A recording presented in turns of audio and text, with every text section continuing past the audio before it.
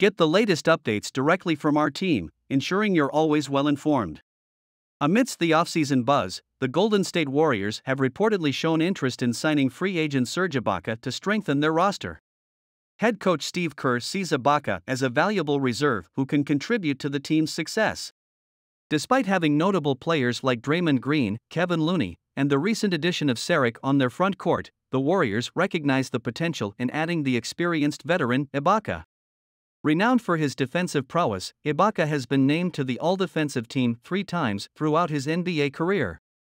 He has averaged an impressive 12.0 points, 7.1 rebounds, and 1.9 blocks per game during his stints with the Oklahoma City Thunder, Orlando Magic, Toronto Raptors, LA Clippers, and Milwaukee Bucks.